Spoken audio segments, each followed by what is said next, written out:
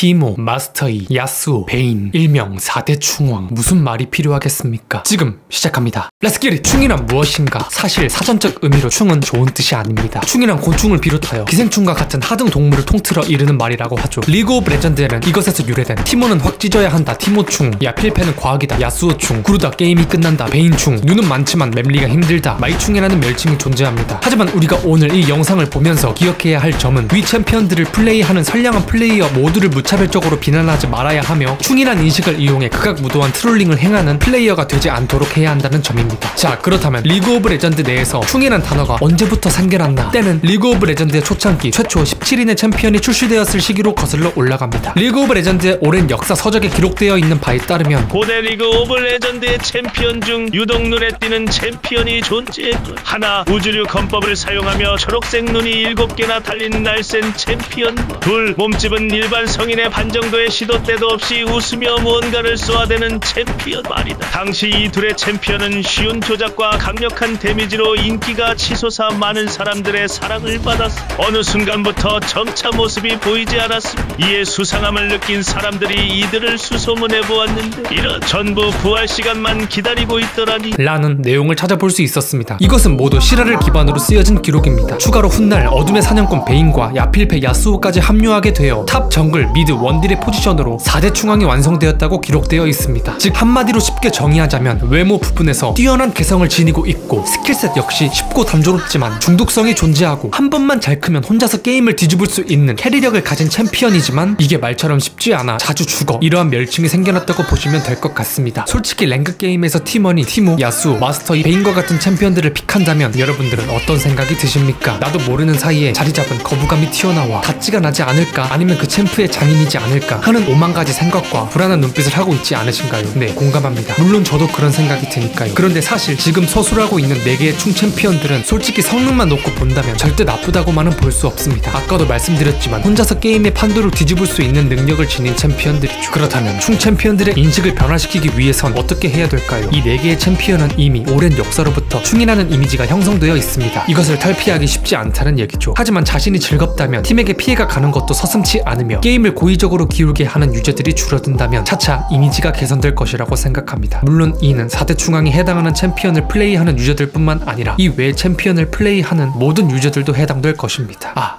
그런데 정글 티모는 너무했지. 마지막으로 리그 오브 레전드에는 충 챔피언과 비슷한 용어 또는 여기서 파생되어진 여러 용어들이 존재합니다. 팀 조합을 신경 쓰지 않고 한 가지 챔피언만 하는 원챔충. top에서 지면 정글탓 탑신병자. 각종 공략 대회의 build를 보고 따라하는 공략충 대회충. 유명한 통계 사이트에 상위 챔피언만 pick하는 통계충. 1 tier 챔피언들만 하는 OP충. 신규 챔피언을 연습 없이 바로 rank 게임에서 플레이하는 신챔충. 인베를 가자고 아무리 ping을 찍어도 우물에서 반응이 없는 흡연충 등 사실 이러한 용어들 중 몇몇 용어들은 리그 오브 레전드에만 국한되어 있지 않고 다른 게임에서도 사용되는 용어이기도 합니다. 오늘은 이렇게 간단한 충의 유래, 대표적인 충 챔피언 또 그의 인식과 변화에 대해 알아보았습니다. 다음에도 더욱더 재미있는 영상으로 찾아뵙도록 하겠습니다.